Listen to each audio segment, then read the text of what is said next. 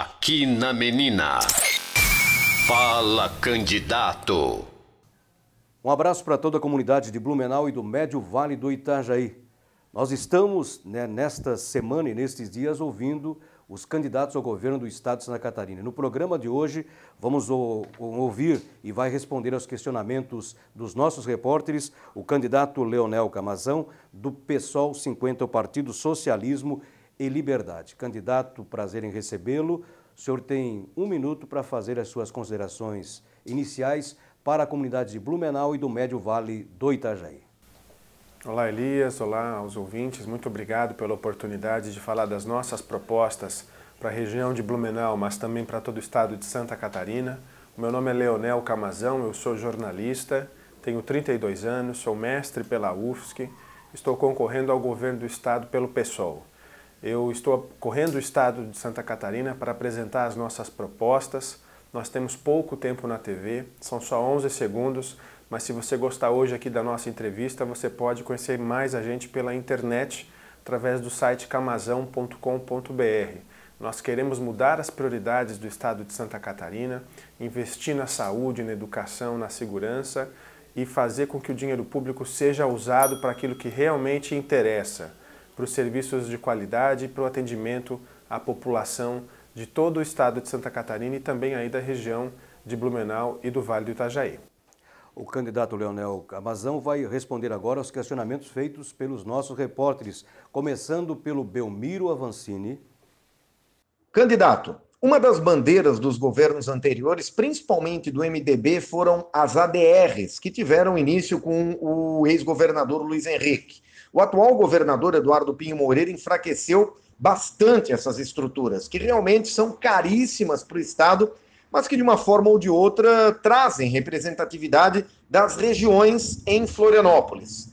Como o candidato pretende manter essa representatividade regional sem onerar os cofres públicos? Obrigado pela pergunta. Nossa proposta para as ADRs é a extinção. São estruturas que consomem quase 700 milhões de reais por ano e não tem um funcionário de carreira nessas estruturas. Não sabemos muito bem a que servem as ADRs, a não ser descentralizar os cargos comissionados e botar tantos partidos no governo é, para garantir maioria na Assembleia Legislativa. Nós não vamos governar dessa maneira.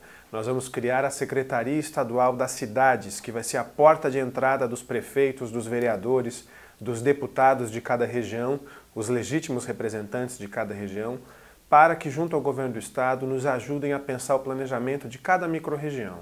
E nós, nessa secretaria teremos especialistas para fazer plano diretor, plano de resíduos sólidos, obras de saneamento e de mobilidade urbana, para que a gente pense a descentralização de verdade, não só a descentralização de cargos comissionados para manter maioria no parlamento. Quem faz o questionamento agora ao candidato Leonel Camazão é o repórter Cristiano Silva. Candidato, recentemente o Ministério da Educação divulgou os números do IDEB, que é o Índice de Desenvolvimento da Educação Básica e que é também o principal indicador de qualidade da educação básica no país. São números referentes a 2017 e Santa Catarina só atingiu a meta nos anos iniciais do ensino fundamental. Nos anos finais, a meta que era de 5,5, a rede estadual chegou a 4,8. E no terceiro ano do ensino médio, a meta que era de 4,8 e o resultado aqui no estado foi de 3,6. Caso o senhor seja eleito, o que vai fazer para melhorar a educação no nosso estado? Muito oportuna a sua pergunta. Nós vamos desfazer o pacote de maldades que o governo Raimundo Colombo e Pinho Moreira fez na educação. Em oito anos, eles fecharam 58 escolas, a maioria de ensino básico, entraram na justiça para não pagar o piso dos professores e perderam. E depois que perderam, destruíram a carreira. Se você entrou hoje como recém-formado ou se você tem pós-doutorado, a tua diferença salarial é muito baixa. A nossa referência de carreira para os professores do Estado é a dos institutos federais, os IFSCs e o UFC. Porque se você pega o IFSC e o UFC e você separa esses índices do IDEB do resto das escolas, inclusive das privadas, nós vamos ter índices educacionais de primeiro mundo. Então essa é uma boa referência para nós e nós vamos pegar este modelo, negociar com os professores da rede estadual para implementá-lo na nossa rede, fazer concurso público para melhorar a educação. O candidato Leonel Camazão, do Pessoal 50, responde agora o questionamento do jornalista Marcos Roberto Jana. Os 13 hospitais públicos do estado consomem 70% dos recursos e prestam 30% dos serviços aos pacientes. Os hospitais filantrópicos respondem por 70% dos pacientes atendidos em Santa Catarina, mas a tabela SUS cobre em média 30% dos custos dos procedimentos. Esse, inclusive, foi tema discutido no 39 Encontro de Hospitais de Santa Catarina. Ou seja, quem resolve os problemas dos pacientes SUS são os hospitais filantrópicos, e tem regiões em Santa Catarina que conta somente com esse tipo de hospital, como é o caso do Vale do Itajaí. A pergunta é a seguinte: qual sua proposta, candidato, para a política hospitalar de Santa Catarina? Marcos, muito pertinente a sua pergunta. Primeiro, dizer que saúde não é só hospital. Nós precisamos de um investimento profundo na estratégia saúde da família e para isso o nosso governo vai utilizar a estrutura da UDESC para formar médicos e outros profissionais de saúde que fiquem em todas as regiões do estado. Porque por mais que tenhamos uma rede hospitalar filantrópica grande, muitos atendimentos de média e alta complexidade não são feitos nesses hospitais, são feitos nos 13 hospitais do SUS e na sua grande maioria na região de Florianópolis. E é por isso que ainda se tem a tal da ambulancioterapia. As pessoas continuam migrando do interior para a capital para fazer um exame, para fazer um procedimento mais complexo. A nossa política para o SUS é descentralizar os serviços de média e alta complexidade, inclusive na rede filantrópica, mas também na rede do SUS, porque nós entendemos que a saúde é um setor estratégico e que precisa ter mais recursos disponíveis para atender bem o povo catarinense. Próxima pergunta agora, o candidato Leonel Camazão é feita pelo repórter Rodrigo Vieira, Candidato, a minha pergunta é sobre segurança pública. A região aqui de Blumenau, infelizmente, nos últimos anos, tem sido preterida pelo governo em relação à distribuição e efetivo de policiais militares e civis. Só para ter uma ideia, um levantamento ano passado feito pela CIB, Associação Empresarial aqui de Blumenau, mostra que Blumenau tem um policial militar para cada cerca de 1.500 moradores. Enquanto cidades menores, como Lages, Chapecó, Criciúma, tem um policial militar para cada cerca de 700, 800 moradores. Então há uma disparidade muito grande e as pessoas aqui no Vale não entendem esses números.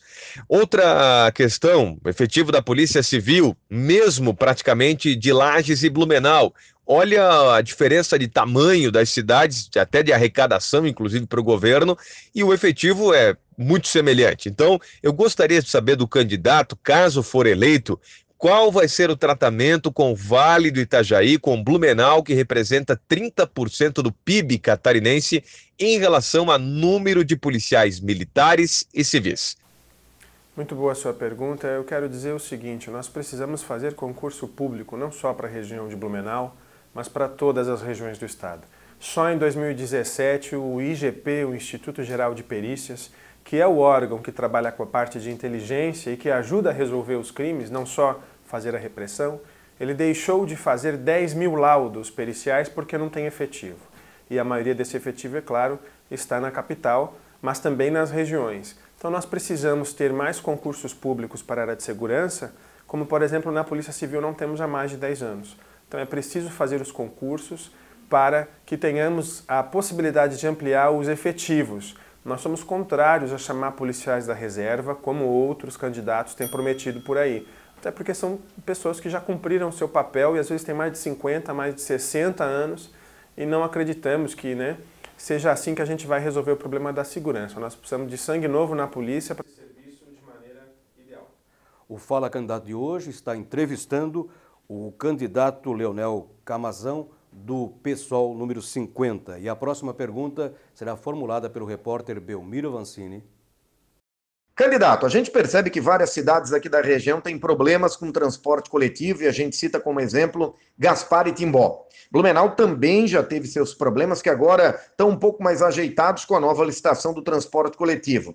Uma das soluções para a mobilidade urbana, principalmente nas pequenas cidades, seria a integração regional do transporte coletivo. Aqui na região, a gente poderia ter integração entre Blumenau, Indaial, Timbó, Pomerode, Gaspar, Ilhota, enfim, várias cidades aqui da região poderia poderiam ter o transporte público integrado. O candidato possui alguma proposta para que ocorra definitivamente essa integração regional, a exemplo do que já ocorre em países da Europa e também nos Estados Unidos? Belmiro, muito boa a sua pergunta e eu vou dizer para você, concordo integralmente com a sua proposta. Eu acredito nesse modelo de integração regional dos sistemas de transporte coletivo e isso não acontece nem na região de Blumenau, nem nas outras regiões do estado por um único fator, pelo monopólio do transporte coletivo que nós vivemos nas grandes cidades e pela falta de coragem dos governantes de enfrentar as verdadeiras máfias que se instalaram nos sistemas de transporte do nosso país. Passamos décadas sem licitações e sem concorrências públicas para esse serviço. Nos últimos dez anos isso tem ocorrido um pouco mais, mas sempre com as cartas marcadas. Então nós precisamos abrir a caixa preta dos transportes coletivos nas grandes cidades para que a gente possa fazer a integração por meio é, do DETER e dos órgãos estaduais que cuidam do transporte. Nós defendemos esse modelo e acreditamos que há muito a se fazer no transporte coletivo para que as pessoas tenham acesso ao transporte e paguem mais barato por ele. O entrevistado nosso de hoje é o candidato Leonel Camazão do PSOL, número 50, e a próxima pergunta será formulada pelo jornalista Marcos Roberto Jana. O subfinanciamento do SUS com a retração do financiamento federal gera falta de recursos para as ações necessárias no âmbito local, ou seja, no município, fazendo com que todos os municípios se obriguem a investir em média 25% do seu orçamento em saúde, dos 15% obrigatório por lei. A pergunta é a seguinte: qual a sua proposta, candidato, na contrapartida do financiamento da saúde de Santa Catarina para desonerar um pouco os municípios, visto que, pelos dados do CIOPS, o estado de Santa Catarina fica no percentual obrigatório de 12% por lei nos últimos anos? Olha, mais do que isso, em alguns anos passados o estado de Santa Catarina ficou abaixo, tanto na saúde quanto na educação. E fica abaixo por um único motivo, porque optou por uma política de desoneração eh, de impostos na ordem de 6 bilhões de reais. E aí a conta acaba caindo no colo dos prefeitos e dos municípios. Então nós não podemos mais ter eh, de desoneração fiscal um valor que é o dobro da dívida prevista para 2019. No ano que vem, o déficit público previsto é 3 bilhões e nós deixamos de arrecadar em impostos 6 bilhões. As multinacionais, as grandes empresas, os grandes conglomerados, eles vão ter que aprender que é preciso pagar imposto no nosso estado. Não é só a classe média sufocada no imposto de renda e os mais pobres que pagam os impostos embutidos no consumo e no seu salário que tem que pagar impostos nesse país. Os empresários maiores têm que pagar também, senão não vai haver recurso para fazer os investimentos que realmente. Muito bem, quem faz o questionamento agora ao candidato Leonel Camazão do PSOL é o repórter Rodrigo Vieira.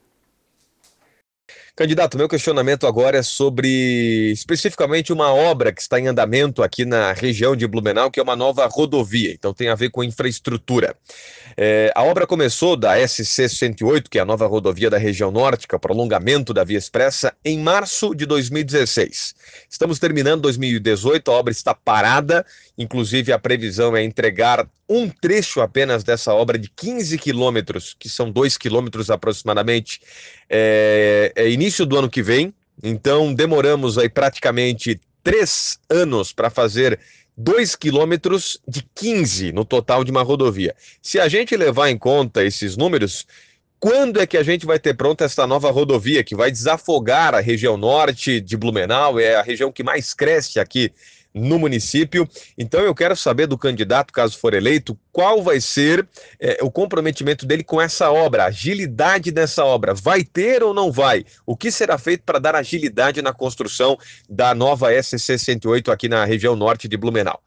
Rodrigo, o caso da SC 108 ele é o retrato do descaso e do abandono que o atual governo promove ao povo de Santa Catarina, não só nas rodovias e nas obras de infraestrutura, mas também na saúde, no meio milhão de pessoas que esperam por um exame no Sistema Único de Saúde do nosso estado, nas 58 escolas que foram fechadas. Enfim, exemplos não faltam do descaso e do abandono do governo estadual, que agora colocou dois candidatos concorrendo ao governo e são tidos como os favoritos. Nós vamos dar prioridade à obra da SC 108 para que ela se conclua de uma vez. Não é possível que demore tanto tempo para fazer 2 quilômetros. Não estamos falando de uma grande rodovia, 15 quilômetros é um trecho curto que pode ser feito com mais agilidade.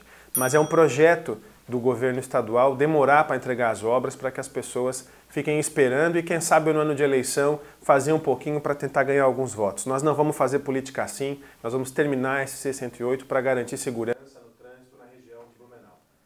Concluindo a série de perguntas da nossa equipe de jornalismo, quem faz o questionamento agora ao candidato Leonel Camazão é o Marcos Roberto Jana.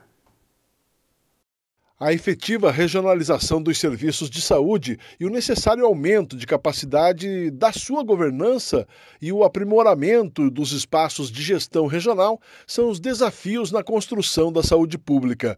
Pergunta: Candidato, qual a sua proposta para efetivar a regionalização dos serviços de saúde do SUS? Marco, como falei anteriormente, nós queremos levar para todas as regiões os serviços de média e alta complexidade, seja pela rede do SUS, seja pela rede filantrópica.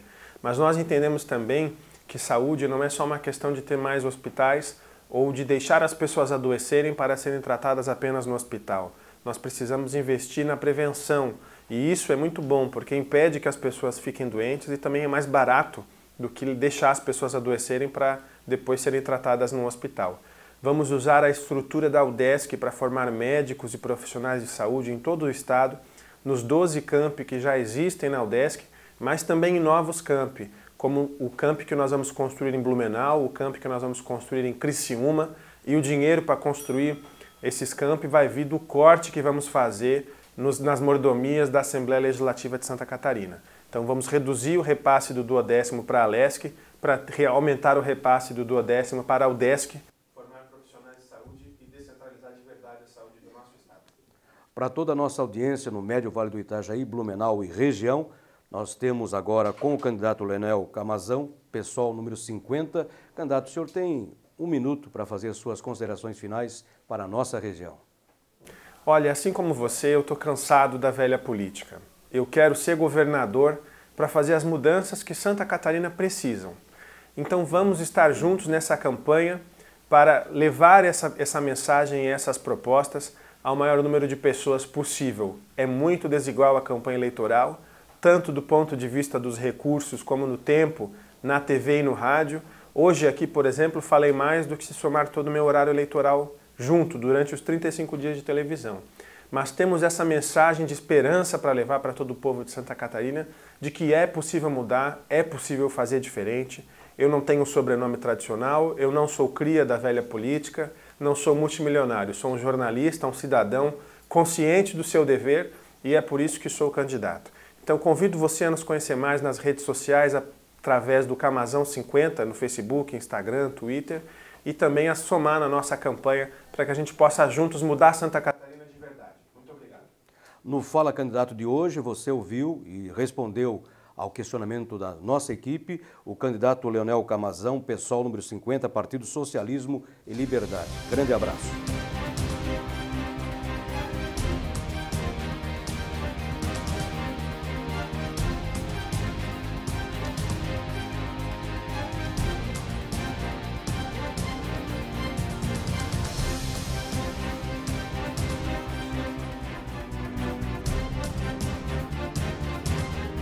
Fala Candidato.